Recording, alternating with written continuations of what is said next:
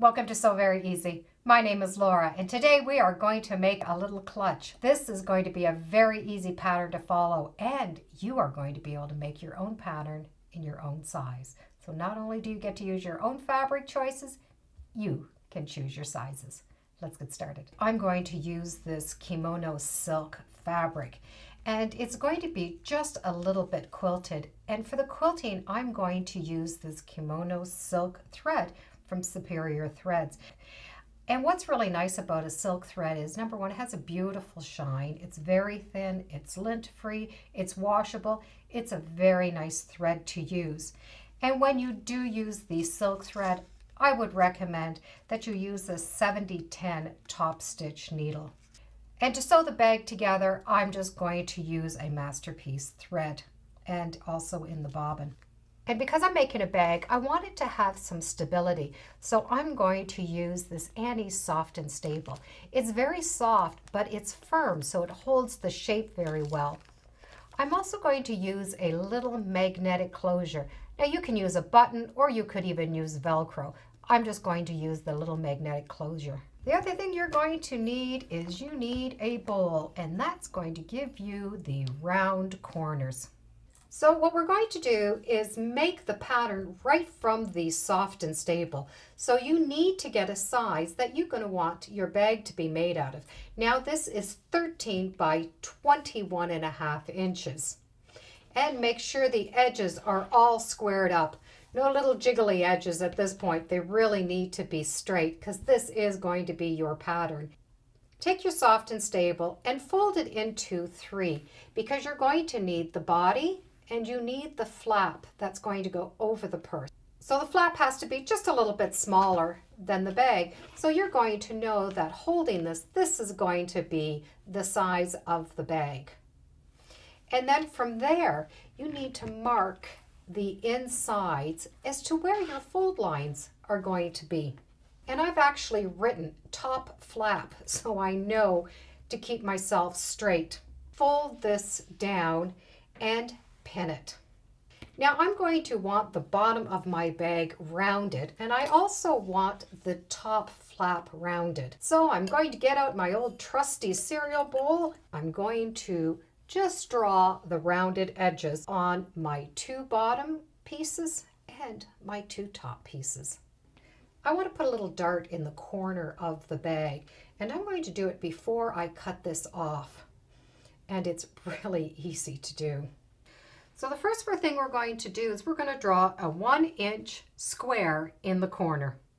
By doing that, that's going to be able to set your 45 degree angle. So put your ruler from the corner up through that point of the square and just draw a line. Now from the curve that you've already drawn, draw the line right up to an inch and a half and make a mark. From that inch and a half mark, you're going to go down to that one inch that you drew, and you're going to go to the other one inch that you drew. And that's kind of how it's going to look. And that's all you're going to need to do to make this dart. And this really will give the bag a really pretty shape. So the next thing will be just cutting that out. You're going to cut the first shape that you did, which was your bowl. Then you're going to cut out this V part. So that's the shape that you have. There's your round and there's that V that you drew. And do that on the other side of the bag. And I'm going to cut off that round curve at the top of the flap. And I won't need to put a dart in there. So there's the shape of my bag. This is the bottom. The fold is here.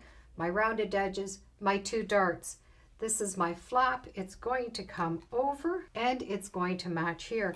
The next thing I'm going to do now is I'm going to put where my little magnetic piece is going to go because I'm going to sew it right onto this soft and stable. So I need to find the center of the bag. Fold your flap in half and you're able to mark that center line and mark an inch and a half. And that's where my magnetic closure is going to go. To find the placement of the other side of where the magnet goes, fold the bag just as it's supposed to be done. Then you're going to be able to just roll this back until you find your mark and you're going to be able to mark the spot. So now I have both spots marked. So to sew these magnets on, it's really easy. First of all, pin them in the position you want. And you're going to set your machine to a zigzag that does not move. So you're going to have a width, but you're not going to have any length. And you're just going to zigzag, pick it up, and zigzag again. And that is what your zigzags are going to look like. To try to sew all the way around, the magnet will want to get stuck onto your machine, well, because it's metal. So just do a zigzag, pick it up, move it, do a zigzag. My magnets match, and the bag is the shape that I like. Now I get to sew the fabric on. Put this on top of my fabric that I want for the front of the bag. And well, make sure you definitely have the front. And then you need to attach these two layers together. You can pin them together or you can use a spray adhesive and just to hold them together temporarily. And don't worry about the extra fabric on the outside because you'll trim it down after. The other thing you need to do is make sure that you take the magnetic closures and mark them on your good side. And I just like to use a piece of painter's tape and I put it right where that mark is so that I don't go near that area with my sewing machine needle because if you hit that metal, you will break your sewing machine needle.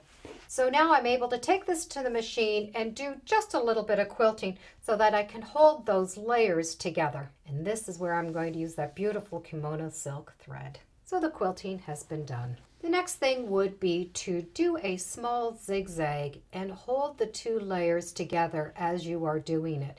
And you can do this before you trim off the extra. So I've done a zigzag all the way around, keeping the zig and zag right on the soft and stable because next I'm going to trim off all the extra fabric. But if you need to press it, this is the time now to press it. The outside of the purse is done. This will be the pattern for your lining.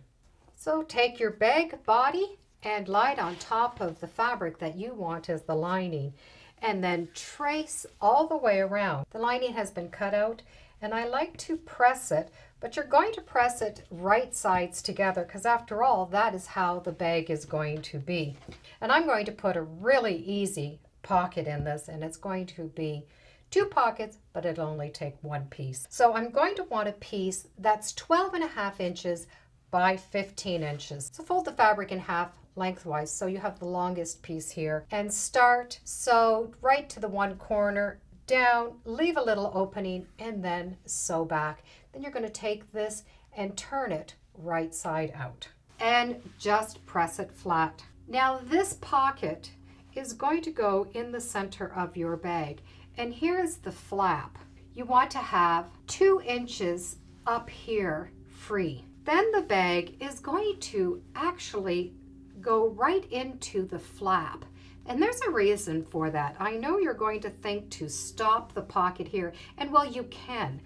But by doing this, when the flap is closed, it actually makes that pocket seal itself so nothing can fall out of this side of the pocket.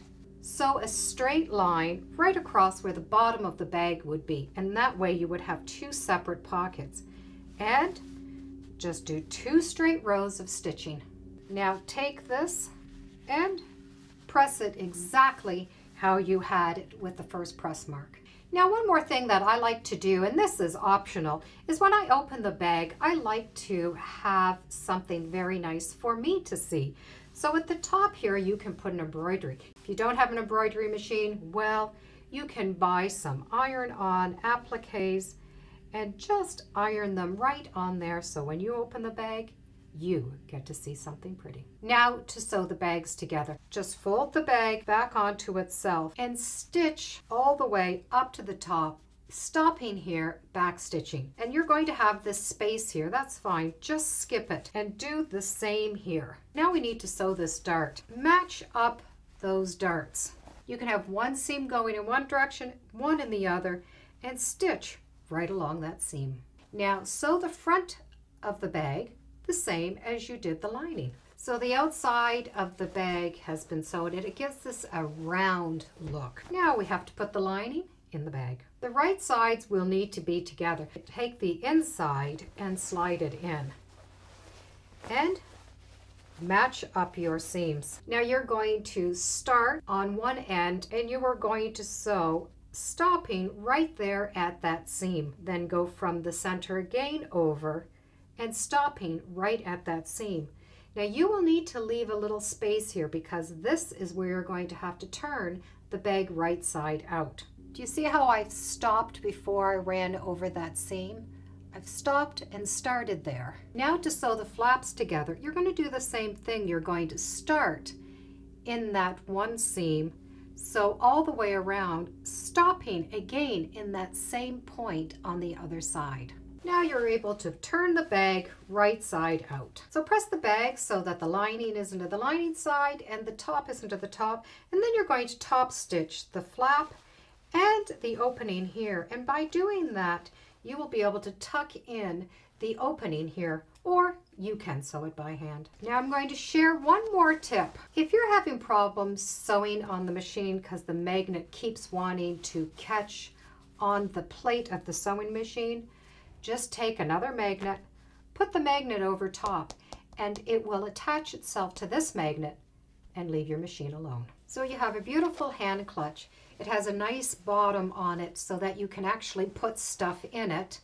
It has a nice shape and there are no seams other than the sides. Makes a beautiful evening bag or you could make it in denim and have a lot of fun with it. It's a very quick and easy bag to make, but it doesn't really look that easy. Because of the shape, it really does look a lot more complicated, but there's only two pieces. You can make this in any size and you can use any fabric. It's such a fun purse to make. I do hope you give it a try. And as always, thank you for joining me today on Sew Very Easy. Feel free to subscribe and as always, come on back. Let's see what we're sewing next time in the sewing room. Bye for now.